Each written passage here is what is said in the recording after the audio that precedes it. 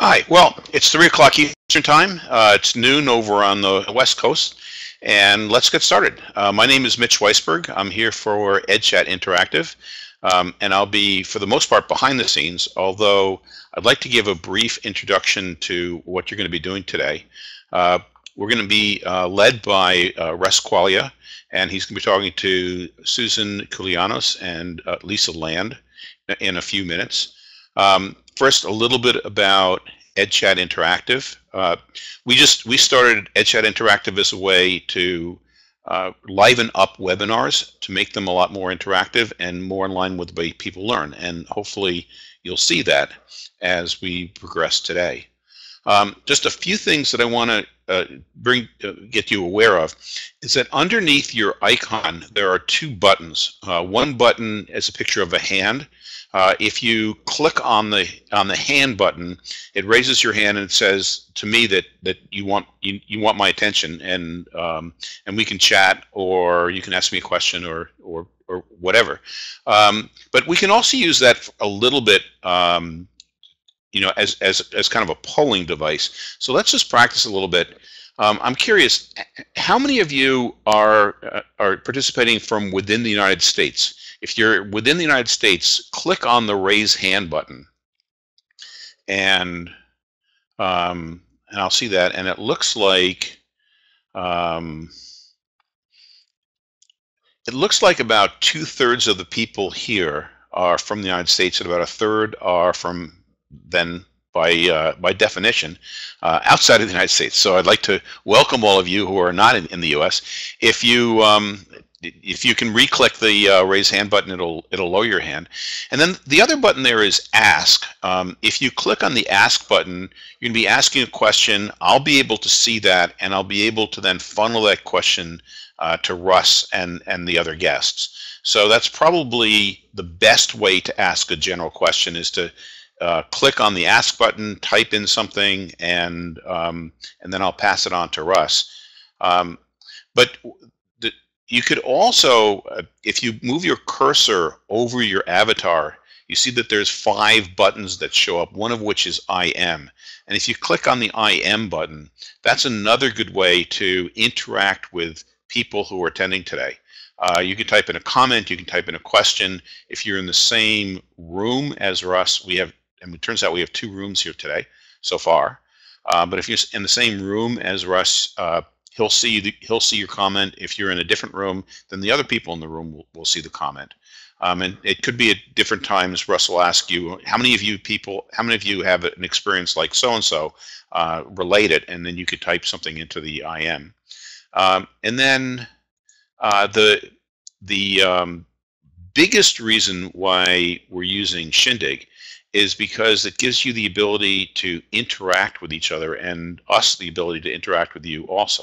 So let me uh, shrink this and you should be able to see the icons of other people who are attending here. And if if somebody has an icon that has video, you can click on that video and you can enter into conversation with that person. Um, I, I'm not sure if, if this is in Russ's plans, but a number of moderators on EdChat Interactive will ask questions and encourage people to work in small groups. So um, normally we would go through an exercise where you practice that, but I think today, because uh, you know, because Russ generally has so much information that's really interesting, I'm going to skip that um, and just you know quickly let you know we have uh, three more events coming up in the next week. This evening, uh, we have Steve Peha, who's going to be uh, continuing his series on high leverage strat strategies for teaching writing. He's going to be talking about revision tonight. On Monday, we're going to have Yong Zhao, um, who has uh, studied world um, education around the world for, for about 20 years, and he's going to be talking, leading a discussion on world-class learning. And then um, on March 17th is is a, a new uh, a new type of event with Alex uh, Bell and Sylvan Baker, and they're going to be talking about something called immersive democracy, which is based on the arts, and it's a way of getting people, uh, kids and teachers and administrators and parents involved in uh, school democracy, and it kind of fits right in with with school voice. So um, so let me just uh, stop this and let me get Russ up here. And there you are. Hi. Hey, Mitch. Um, thanks. Um, welcome, everybody. It's it's hard for me to believe that these months go by as quick as they do, and, and here we are again. I'm happy to say this is actually the first time I'm doing this from where we originally thought we were going to do them all, which is in Portland, Maine. So it's it's actually nice to be here. We have a super packed hour um, from Susan Koulianos, who is in Ohio, who will be joining us. Um, the woman that Mitch did not mention, Ingrid uh, from the Netherlands. I think he didn't mention Ingrid because we can't say her last name. Um, but I'm going to give it a try when I do introduce Ingrid to come on on board in just a bit. And then uh, Lisa Lande, who is some of you have seen her on here before, in charge of the Teacher Voice and Aspirations uh, International Center. And then I want to hand it back over to Nick, the last 15 minutes or so, to kind of deal with some questions, answers. He'll give some updates along with some other team members that, that are online. So I'm going to jump right in. Um, again, Mitch, thank you so much for doing this. I just, I am a huge Shindig fan, and he knows I, does, I do not say that lightly because um, I actually just not a major fan of any of these kinds of things, but I actually am a fan of the Shindig and, Mitch's support. It's just it's seamless. It's it's good, and just I couldn't be happier or prouder to be a part of that. So thank you, Mitch, for all you're doing for us. Let me start off as I usually do with some quick updates. Just returned um, from a board meeting um, in the UK. The Aspirations Academy Trust had their one of their three board meetings, and we had that. Uh, we also had a leadership seminar in the UK. Mickey was there with me and talked about Project Aspire actually. And the other person that was with us this time was Ray McAuliffe, the Dean of Southern New Hampshire University, and um, studying and talked a lot about it, the leadership seminar about connecting leadership, innovation, and school voice. So that's that's all moving well right now. We've got 12 schools kind of edging our way forward to 14 schools um, by next September. That's both exciting and incredibly scary. The work we're doing in LSAU, LAUSD continues to move forward. Um, it's an interesting place for me where they have over 600,000 students, uh, over 50,000 teachers, 100,000 employees overall. It's, it's crazy to me. And it's interesting for that place being somewhat perceived as impersonal. I've never seen a more personalized um, kind of connectedness of people within each of these districts. We work specifically now in East District, and um, the more I work there and the more things we do there, the more impressed I am. Mickey, Wade, and I were there recently, did a, a student piece, um, which was really fun to do with, with the parents. And what, what I love about working in LAUSD, when I talk to the staff and I ask, you know, who's from this area, 90% of the people that raise their hand are are former students there or grew up there and so on. So it's not, um, you don't have to do any convincing how important the work is there. They get it, and uh, I become more and more impressed. Cobb County, Cobb County in Georgia has officially come on board um, doing work with their teacher academy. Lisa's leading that work. We're also kicking off the leadership summit. So it's actually one of the very few, few and first places, I guess one of the first places we're working with really systemic change across the district from teachers to the leadership team. And I'm proud to announce that Daniell Middle School, the middle school, one of the middle schools in Cobb County will officially become a demonstration site in September. Met with the principal there and some key staff and it, he's, I don't know how to explain other than a ball of fire and excitement and uh, passion about what he does. Some updates on the book front. Um, I am happy to say the principal principal voice book called Principal Voice, Listen, Learn, and Lead is in press. That'll be out in June. The Teacher Voice book called Teacher Voice Amplifying Success is in press now as well. That'll be out in July. Um, and last but not least, Aspire Higher is, uh, we just got the book reviews back last week. Um, crazy great reviews. Um, four out of five of them were, were incredibly positive the one out of the five was not, so we're just going to ignore that person. The um, obviously someone that doesn't give a crap about kids. The um, but the Aspire High book, uh, really led by by Dr. Mickey Corso and, and Dr. Chris Fox. Um, just it's a it's a cool piece, quite frankly, and it takes the best of what we've been talking about for the past, I guess, over 30 years now, and uh, I'm looking forward to that coming out. That'll be out in January. A, a little more work to do on it. And last but not least, I throw this out there and I'll remind you of this again the next time we get together. It's the Parent Voice Book. Um, we're getting a little pressure to do a Parent Voice book. I quite frankly really don't want to do one. Uh, I'm not convinced I should do one. So uh, I ask in, in, in all earnest if, if you can think of good reasons why we should do a Parent Voice book. I would love to hear from you, whether on Twitter or email me directly. It is something serious that needs to be addressed. I'm, I'm not sure exactly how to go at it yet. I can't see Mickey right now, but I'm pretty sure he's smiling because Mickey's been telling me we need to do this for the past 20 years. Um, finally, um, want to shift gears pretty much in a hurry today because um, I want to get on our, our story around aspirations and what's going on in the field. And let me first bring up, if we can, Mitch, Susan, Susan Koulianos. I'm with my team. Awesome. Hi, team. Hi. I got to tell you, you've got the best looking team we've ever had before, so I think that's pretty impressive. Hi. Um, so Susan, the team is, is from Youngstown. We've been doing some work there. Uh, Susan Inman has actually been leading that work. They tell me Susan has been the principal there for four years, a principal for eight, in education for over 23, all incredibly impressive. Um, but Susan, it's, it's interesting when my team comes back from Youngstown, they'll tell me some updates. And every time they mention your name and talk about your staff and what's going on in the school, it's like this big giant smile on their face. So um, just like the smiles I'm seeing right now, actually. So what I'd like to do is for you and your team, share what you're doing and, and what kind of growth pattern you've seen from where you started with this work from Susan, Susan Inman, um, to where you are right now. Where do you see it going? I just, and again, before I do, thank you for making this work. It really is special to see you and your team. Oh, thank you so much for having us. And we enjoy doing Quaglia. We don't feel like it's another program, it's a way of life that we implement the different conditions. And we um, are big advocates of student voice and adult voice. And that's why I brought some team members because it's not about me, it's about the building in general and all the great things that we're doing. Um, we've made some tremendous gains and we've had some really great success, and it's finally showing in their state achievements. And so we're really proud of what we're doing here at Harding.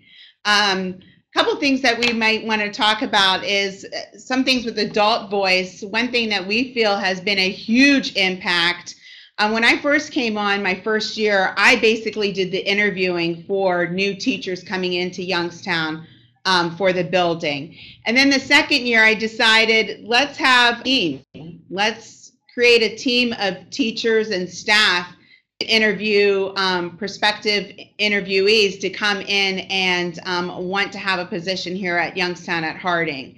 And we feel that that has been probably the number one thing that has made a big turnaround in this building. And I want my two colleagues to talk about the process because they've both been on the team for the last couple years.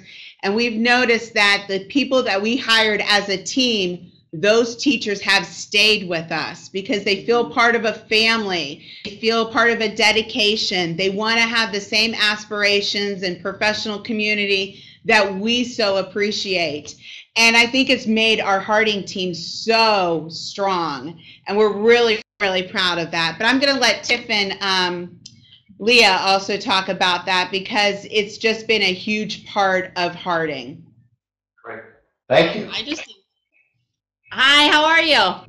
I'm great. I never met you. You're like a superstar to me. this is our number one Project Aspire girl right here. Yeah. If I'm her superstar, she's number one in my book already. So sorry, sorry. Um, no, I just think that the whole staff voice and embracing the interview process and us having a say in it and owning it and wanting to be part of the hiring process, I think just helps us buy into and invest in the people that we are bringing into our families. You know, they see us as a unit, as a strong team, and I think that that's important and that's what having staff voice is all about because like susan said she's not by herself you know we're here with her every step of the way and i think that um, a lot of times principals can feel alone in that you know role of leading the building. And I think our movement is because we have embraced Quaglia and we have been able to use it as um, a plateau, you know, to have a voice and to make things that are important, just like hiring new staff members.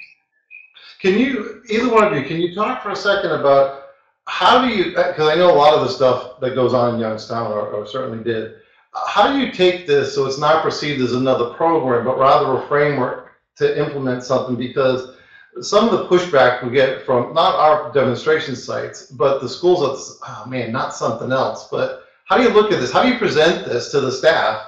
Um, and how does the staff adopt something so it's not perceived as, man, this is something else I need to do, but rather here's the way of thinking, like you said. I think the big thing, um, Dr. Quay, is to see that it's all connected with what we're doing. It's connected with our BLT process. It's connected with our OTES evaluation process and principal evaluation process. It's connected to our hiring process. It's connected to our frameworks with Literacy Collaborative and Bridges the framework. Everything that we do is connected together. So we don't feel like Quaglia is another thing that's put on our plates. It's actually embedded right in everything that we're doing, and it fits beautifully. Um, so we feel like we're going to take this and we're just going to keep going with it, and we're adding um, other um, parameters to it to make it even stronger with the student voice and the adult voice. But we have grown tremendously in the last four years, and, and predominantly the last two years. I think I've I've given up on the fact that I can't control everything and I Mm-hmm. don't want to control everything and I need help. And I look upon my teaching staff to help me make those really um, decisions. And therefore, they feel like they have ownership every single day in this community. It's not me on my own. And that, that has been fantastic because as everyone knows, Youngstown it, it, it can be a difficult place at times. We are under um, watch with ODE, but I feel you know we are doing such a great job here, and we're putting ourselves on the map, and it's showing in our results. And our kids are happy; they want to be here. Our staff is happy; they want to be here every day. Um, Avion Cataldo, please come to the front office. this is what happens. Avion Cataldo, to the front office, please. He's gonna make a comment about that. It shows me you're looking at real school, so at least. the show must go on, right? The show is going on. So I just think, you know, finding connections is huge because then your staff knows, oh my gosh, you're not putting another thing on us. And that's that's been um, a big impact. Here's Right. Leah. She would like to share something. Hello. Um, just going off of what Susan said about how making connections and implementing this in things that we already do. Um, this year I started doing with my class, um, you know, with ODE coming in and they want to or see us posting their targets. I mean, we've been doing that for for years, our learning targets. Um, you know, because Susan's always ahead of the game with that that kind of stuff. So we have been, you know, really good with that, but I also wanted to put it on the students, you know, for them to be able to watch themselves, um, you know, whether they can reach those targets individually and, you know, when they can, the sense of accomplishment that they have, um, I think ties in with Quaglia. So I think that's just a perfect example of how Susan's not expecting us to do something completely different or new. We're just embedding it into things that we already do, which I think is that that's why it's been, you know, so successful in our school. And I just have to say about Susan overall as a principal, she involves us in everything. I mean, I'm talking like she's called us up here before and been like, "What should I spend this money on?" And we're like, "Well, let's see," you know. So I mean, she always gives us a voice. So um, yeah, she does a great job with that. I just had to add that. Well, thank you. I mean, they make my job easy. I've got I've got a great team, and and that's why I'm here. Um, all of us could go probably somewhere else to work, but we Good are afternoon, Tiger invested here We were at able Harding. So we're excited about the to the changes that we're competition making. board today. Hopefully, we'll get some more tomorrow. We are ready for inspiring minds. Inspiring minds, you are dismissed. How good is that when you get? Part of dismissal. It's time. I think it is great. And you know what's funny? I don't know if you can see this, but I can look around and see my staff, even around this table, and they've got these huge smiles on their face just, just hearing from the three of you. So you do my hot product, and quite frankly, you're my superstars out there. Um, there's not a meeting we have, I am telling you, Susan, that you and your team um, are not mentioned, and I mean in great light. So I appreciate Thank what you you. so much. No, thank you. Thank you you. so much for uh, seeing all the great things that we're doing. And I just want to say, at first it started out with the sense of accomplishment with behavior, with our kids doing well with our behavior and, and making changes. But now we're seeing our sense of accomplishment in our academics and our kids are able to talk the talk. We have kindergartners sharing how they're going to improve a reading level and and what they're going to do to improve. Little kindergartners articulating it with using that power vocabulary um, language that they have. It's amazing. They've made um, suggestions um, with our computer um, lab and how we can utilize that better we always listen to our students to see how can we make this a better environment, not just behaviorally, but educationally. And students have better ideas than us. Yeah. And that's what's been so amazing because our kids are fighting to be on that student Quaglia team and they want to have a voice. And we've even projected it where you don't always have to be on the Quaglia team, but give that give the Quaglia team students ideas so we can share. And so it's just been a huge move that um, we have been doing here at Harding that we're really, really proud of. Beautiful.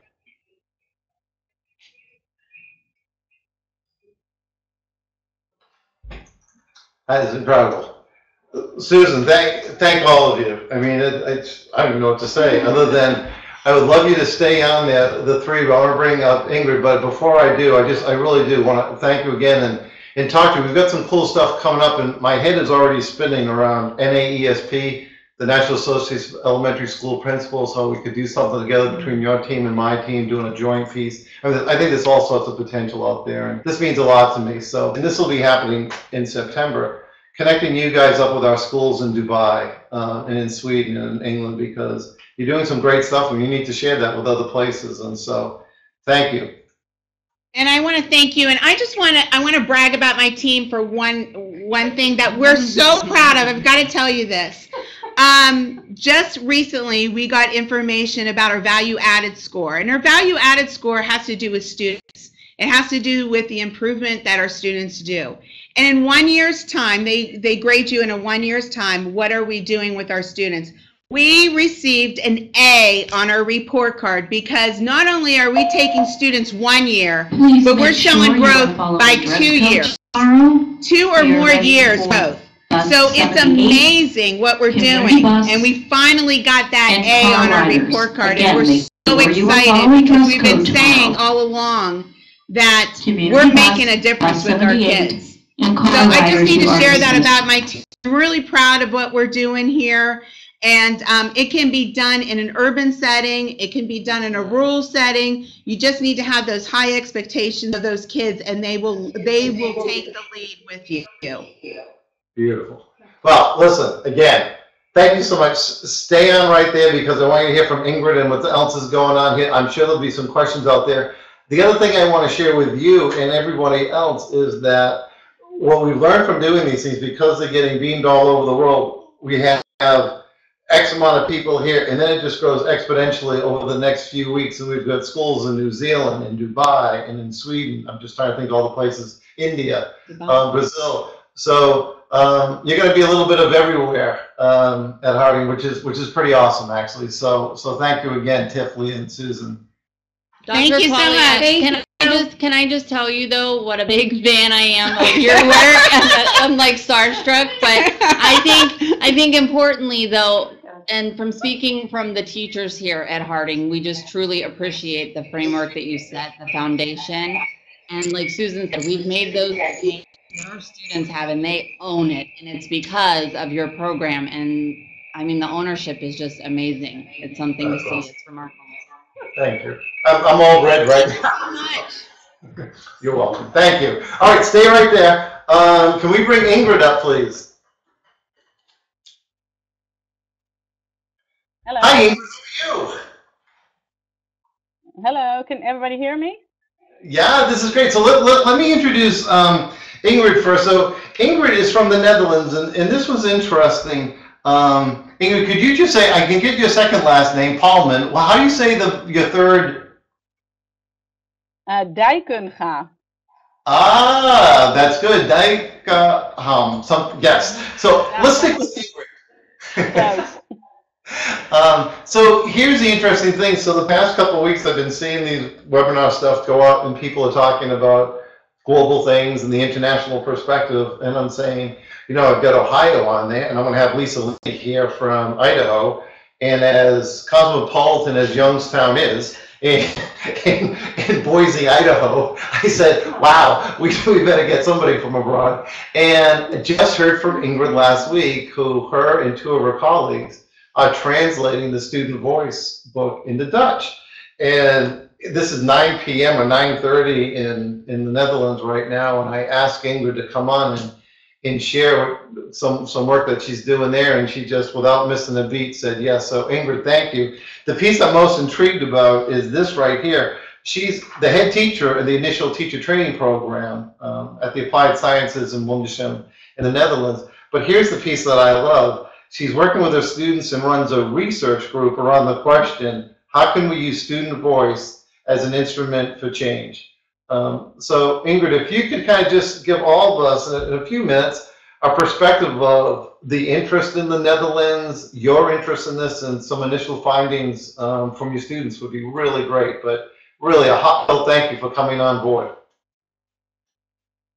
You're welcome. I'm I'm very I'm almost almost much as excited as the other teachers are because I've been following your work for a couple of years now, and um, um, I kind of took my colleagues uh, with it.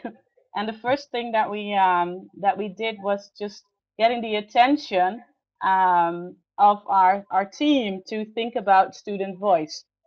And uh, so we kind of started talking about it within our initial teacher trainer program, but also uh, because I'm also part of a master program, and uh, we do a lot of innovative stuff over there. So we um, we thought, so how can we use uh, and use is kind of a, it sounds kind of funny, like you want to use because it's a co- it's a collaboration that you want to do with students, but also within the schools that we work with. And so um, it goes as follows: We have students in our master program who all work within education within the educational field. So uh, they need to uh, come up with an innovation that they need to use within their own practice. So, um, so I kind of am interested from my own PhD program in leadership for learning. And uh, my, in my opinion, uh, leadership for learning only started when you have a voice. Then only you, you can be a leader. So I kind of, you know, uh, started researching upon that idea. And, um, you know, I shared it with my students, of course. And then a couple of students said, Ingrid, this is such interest, so uh, so interesting. Couldn't we start a research group? And um, that's kind of how it started. and um, I have uh, about 12 students working within 12 different uh, areas within the educational field, from primary school to university and everything in the middle. So high school, uh, secondary school. The system is a little bit different than it is in the in America. Um, so we're trying to work with the framework and also with um, uh, part of the leadership challenge by Kouzes and Posner when we are combining the, the framework with the leadership challenge to see how can we enable ownership, uh, how can we support students within the schools to uh, be leader of their own learning and use belonging, use self-worth, uh, use the aspiration framework and use those ideas. But the, the interesting finding at the moment is that now we're having um I couldn't I, I want to say a hard time, but it's, it's you know it's also it's something that we challenge ourselves to is to see do we see where voice actually uh, is made clear. So do we notice as teachers where we can actually support children and students to say, oh, you could step up here, and this is this is where you can have a voice. Because what we notice in the Netherlands, and I don't know for America, I've been for a couple of months, so I'm not really familiar, very familiar, um, is that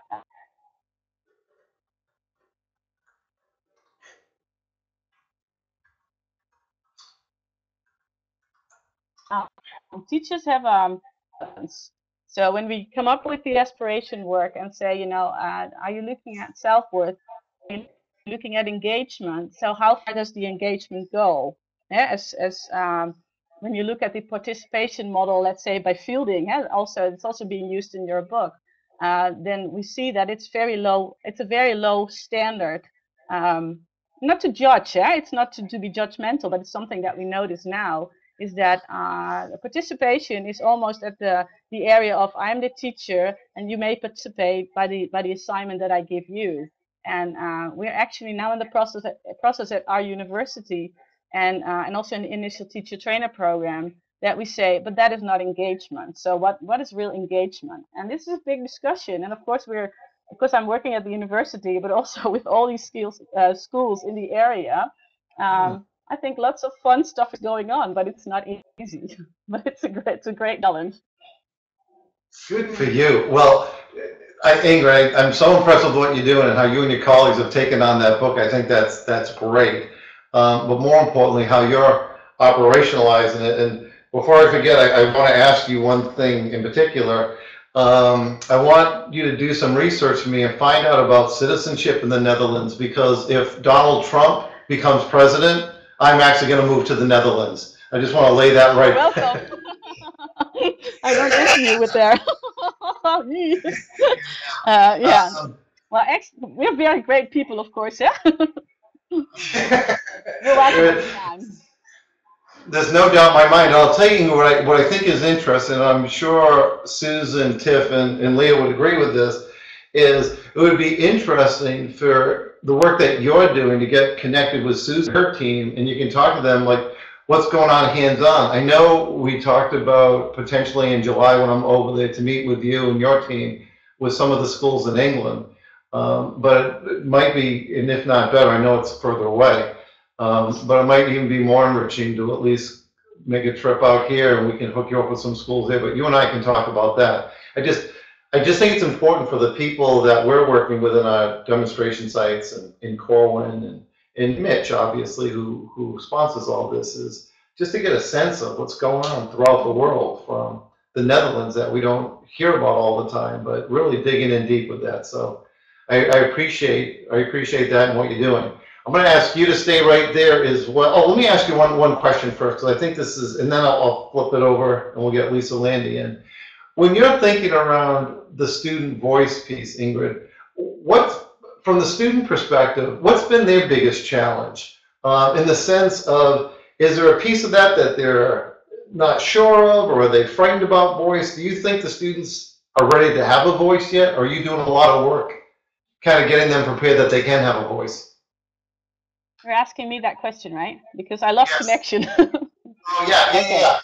Uh, yeah. Um, what um what we see at the moment, I, we also work with special ed, and uh, uh, just because of the differences, what we see is that the hardest challenge is to really trust children to have a voice, but also to uh, trust them that they can follow up after their voice.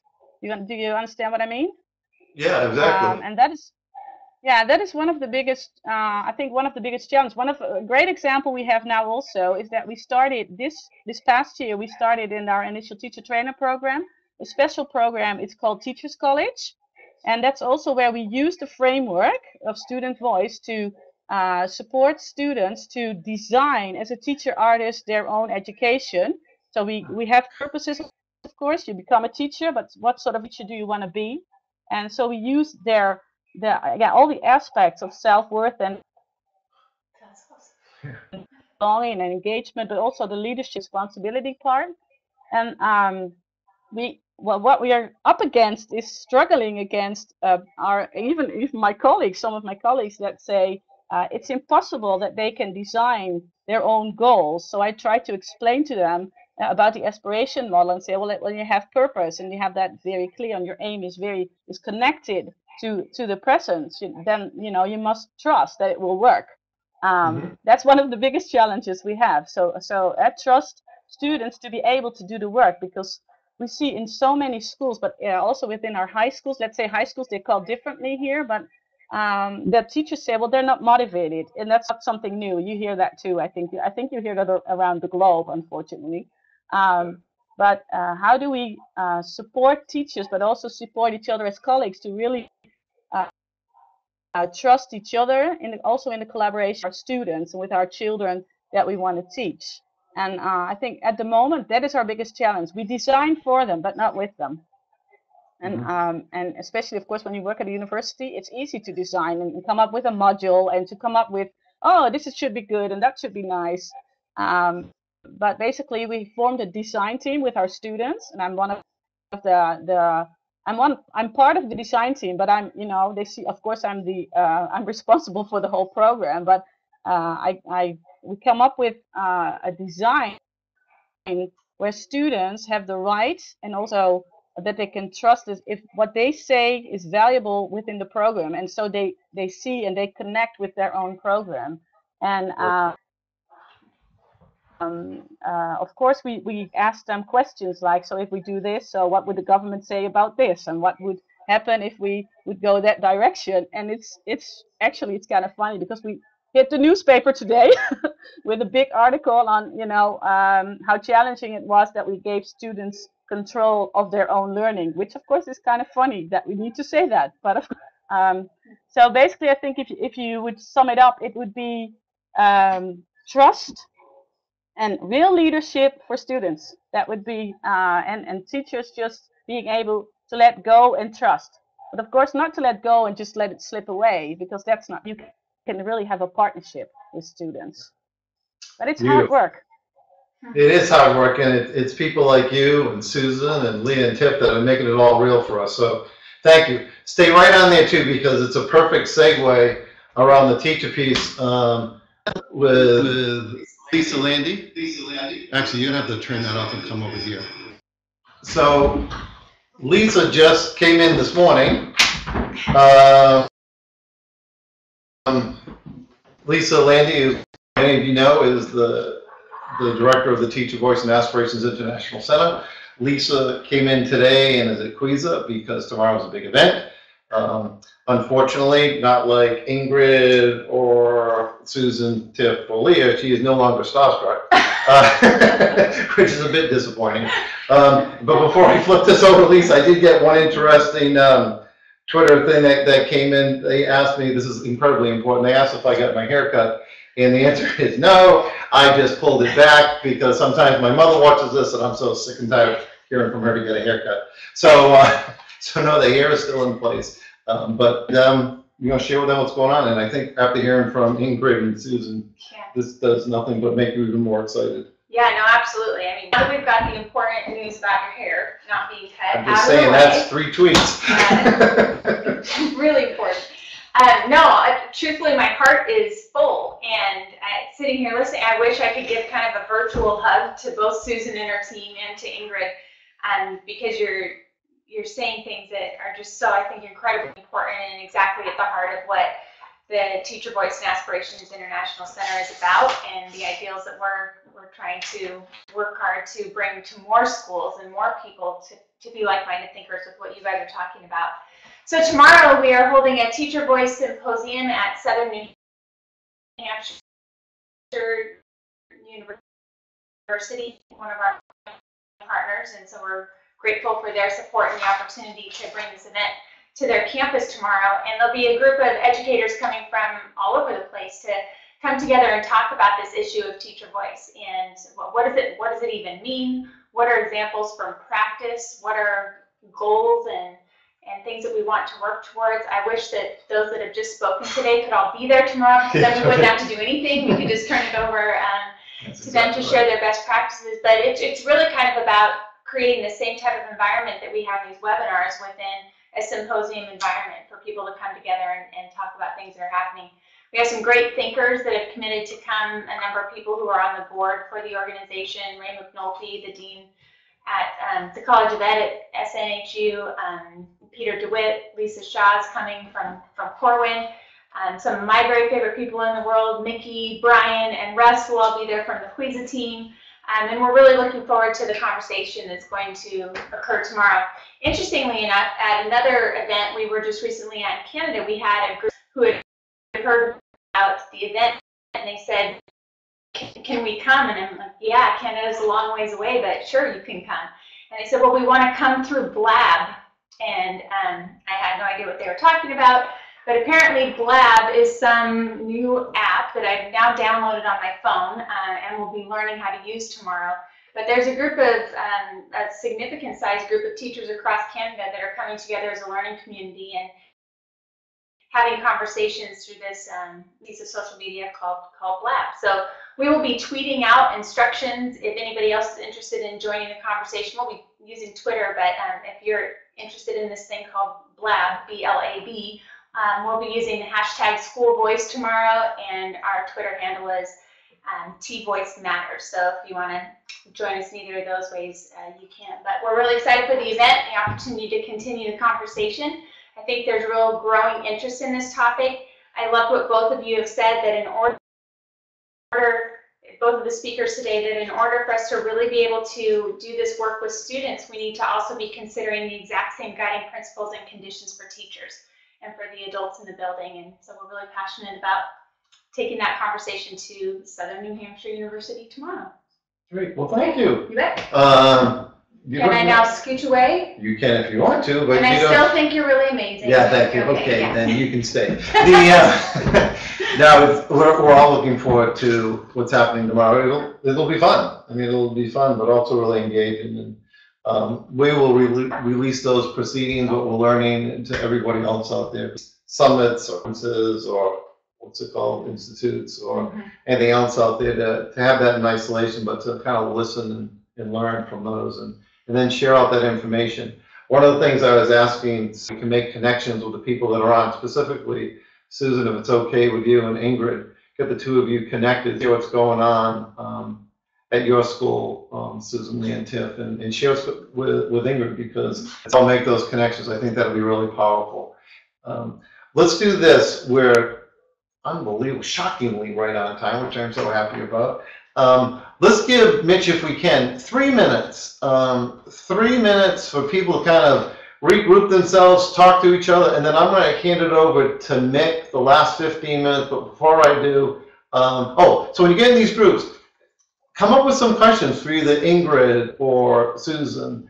Um, Yeah, there actually, so there was a question uh, from Simon, and it was really for Ingrid. Is there any sign of universities in the UK taking note of your work and learning from that? And then he said, ITT over here needs it. So, um, so I could bring Ingrid back up again if I can find you. If Ingrid, if you can click the raise hand button, I'll bring myself down and bring you back up. Or ah, maybe no, not don't raise your hand. You may be raising. There should be a raise hand button, but I'm going to bring myself down. I'm going to try to find. Ah, there you are. Okay.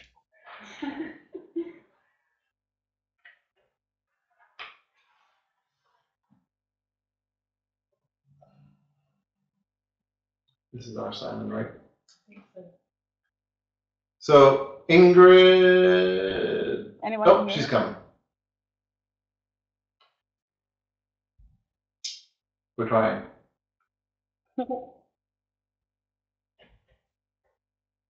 Ingrid, you, hmm. Um, oh, I yeah, can you hear hear me again? Oh, perfect. So do you know universities that are doing it in the? My back? do- Yes, we can hear you okay now. Can you hear You us? can hear me. You can never. Yes. Hey, Mitch, could you bring Ingrid down for a minute? I want to flip this over to Mick for, can we just reverse what we're doing here for a second? Uh, is it the question that is written? Um, all right, so this is what we're gonna do. We're back in control here. Um, so, oh, this Mickey. So perfect. So, hi, Nick. um, so I appreciate all the the accolades that I've been getting, but the truth of the matter is, and the absolute belief in our work is that we are a team, and with Mickey, Brian, Lisa, Susan, Chris, and others. Um, Sue Hopper, who's right to my left, really is my right hand person, but interestingly, she's at my left right now.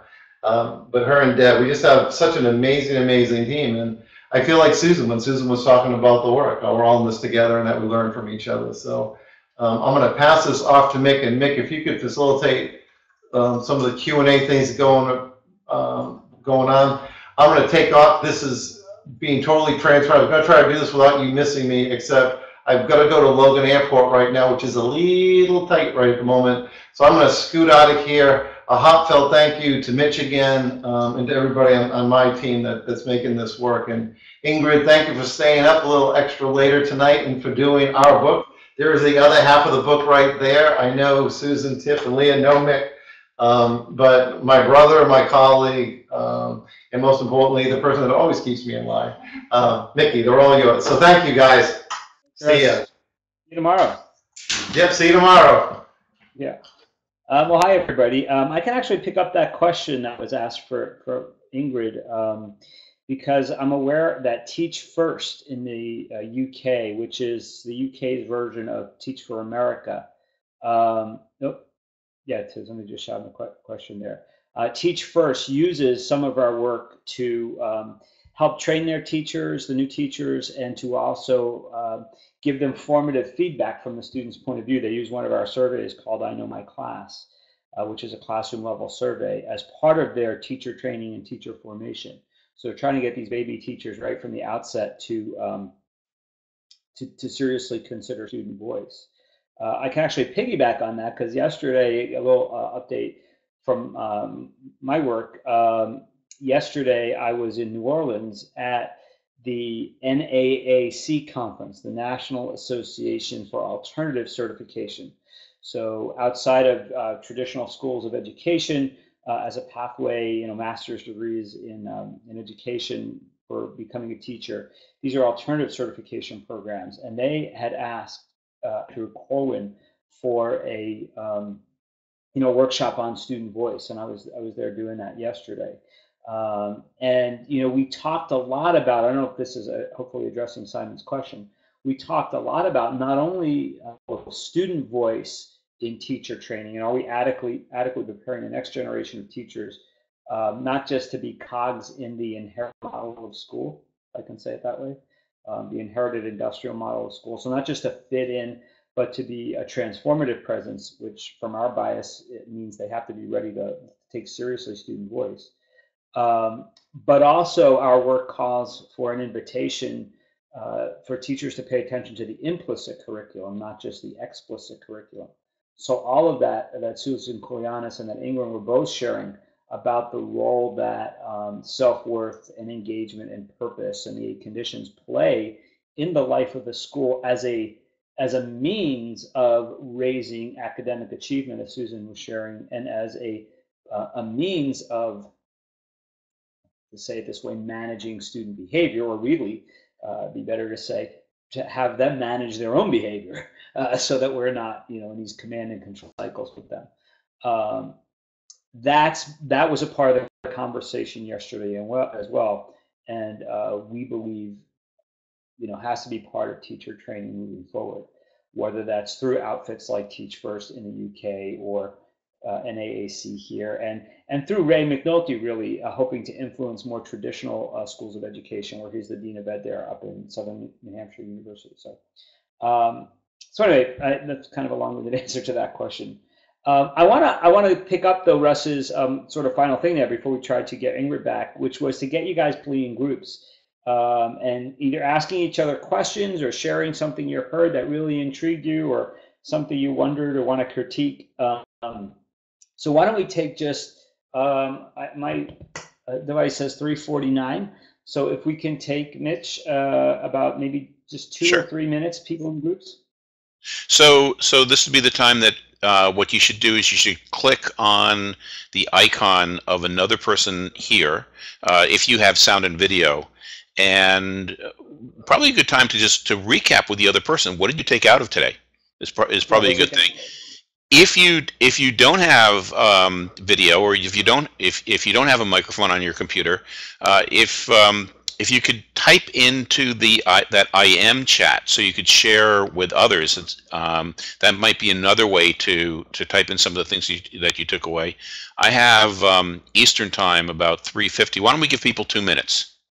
Two okay. minutes. Okay, and then you and I will both come down, and then I'll bring you back up in two minutes, and um, we'll go on.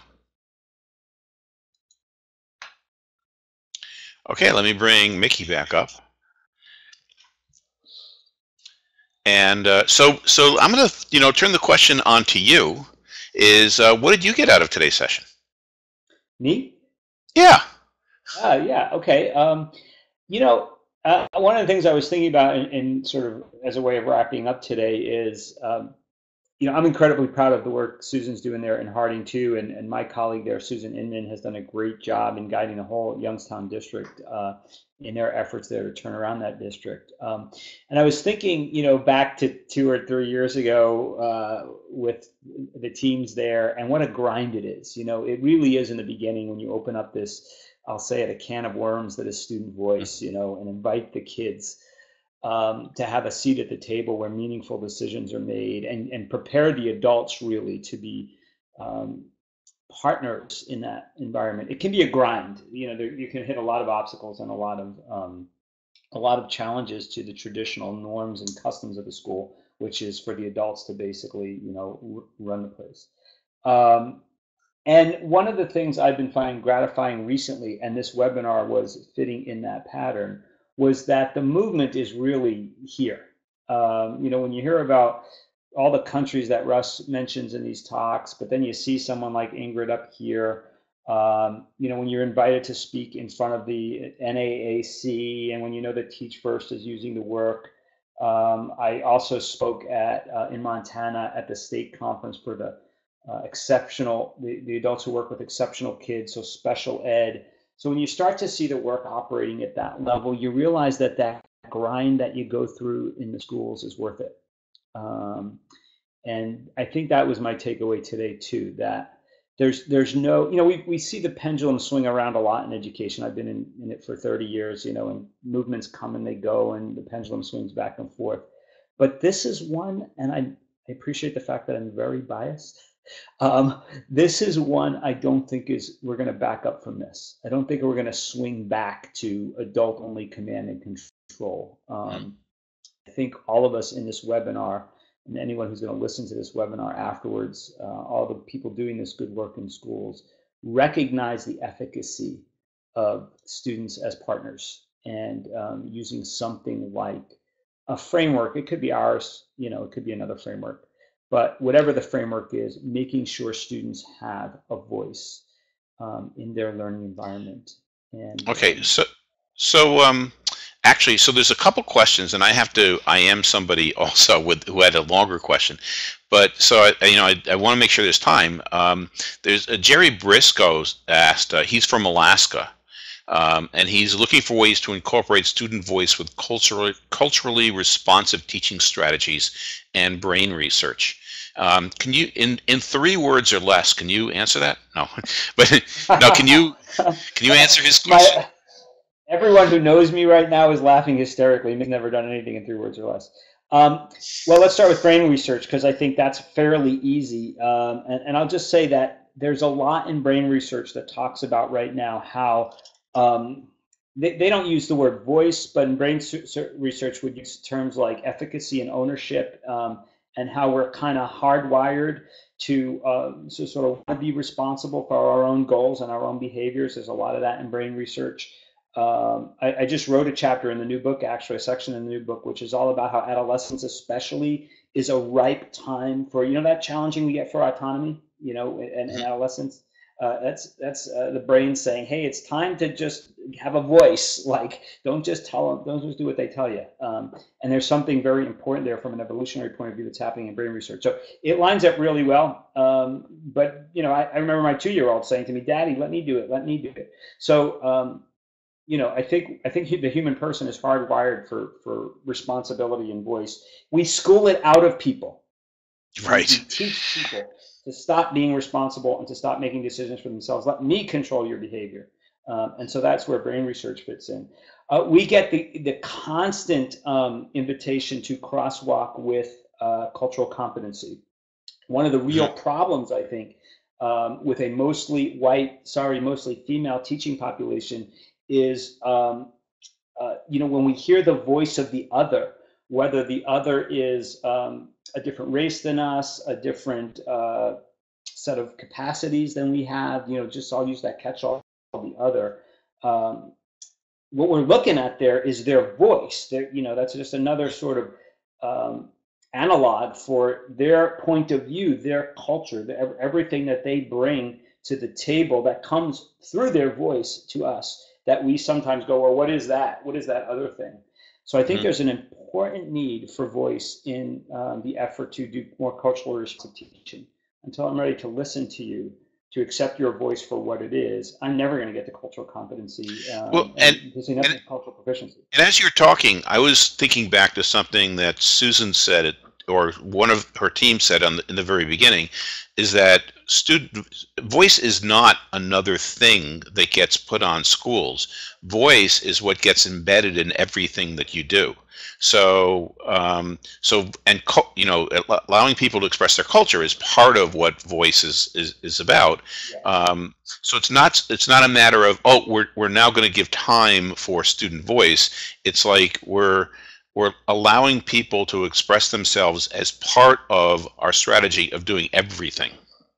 Exactly. When Susan said that, and she's probably heard me say this a billion times, it's not a new way of thinking. It's not a, it's not something new to do. It's a new way of thinking about everything you already do. Oh, that's um, great. And that's exactly it. Yeah.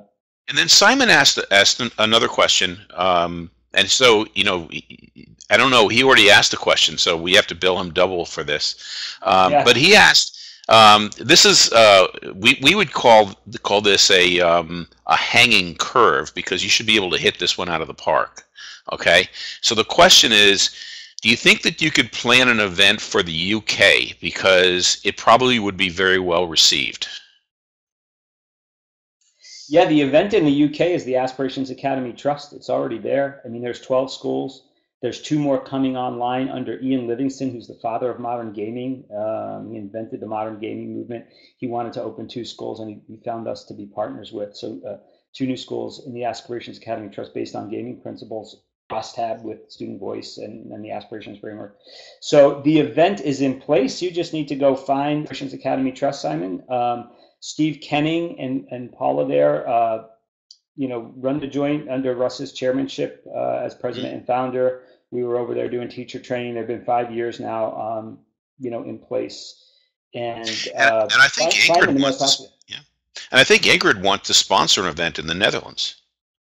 That would be great. So, yeah, hey, just get in touch with us uh, through our website or through Corwin, and we're happy to uh, we're happy to go anywhere. Um, you know, because we want to keep pushing on the movement. Um, so I paraphrase. She just she actually said, "I think a European event would be great." But but I just to me that's volunteering to host the event, right? It sounds to me like it is. Ingrid, we're there. Okay. Plus, I hear you're translating the book, so we have to, uh, you know, make sure it's. I know nothing about other languages, but uh, but I'll have to look and make sure the words look like they're in the right place. So, so did you? So basically, we're we're at the hour now, and and you know I don't want to keep people extra. Is there anything that you want to use as a you know to summarize? I know you guys are going to be here in about a month as well. Um, looking for the date, April fourth. Yeah, April fourth, we'll be back. Um, no, you know, I made a couple notes to myself. One of the uh, one of the things I'm very excited about myself is this. What you heard Russ allude to, Project Aspire. Uh, one of the things I was doing when I was in the UK uh, with him was I did two live launches of Project Aspire. It's probably the most scalable thing we've invented um, to get involved with our work. It's kind of an off-the-shelf platform that walks people through the, uh, the framework and student voice and how to do it. A lot of the questions I saw beforehand were, how, what is engagement? What do you mean by it? And how do you concretely do belonging in your school? You know, so Project Aspire is a way of, of getting people through the framework in a very user-friendly, asynchronous, um, you know safe way. So people are interested. Again, they can go to qisa.org and check that. I'm, I'm excited about that. And the more people we put in Project Aspire, the better it gets because it's like also like Yelp for um, for PD. You can constantly keep feeding back to us what you think of the platform, and we can keep improving it. Mm-hmm. And Sue Harper, who was there with us, she she's a big part of the um, the backstage of that. So um, yeah, that's all. People could. We, there's lots of free stuff on our website, and uh, people who have questions, they can probably find an answer there. And if not, our email addresses are there, so feel free to get in touch with us. Okay. Well, um, Mickey, thank you. Um, it's it's always great listening to, and, and talking with, with, with all of you, and yeah. um, you're doing great stuff. So thank you, uh, thank you for hosting us and, and for supporting this work through through the hosting. We really we do really appreciate it. Okay, well, um, see you next month. Uh, maybe email with you uh, uh, before then. And uh, this is Mitch Weisburgh. I'm signing off for EdChat Interactive. Please consider joining us this evening we're talking about writing. And next week where we have two sessions coming up as well. Talk to you soon and good afternoon, good evening, good morning, wherever you are.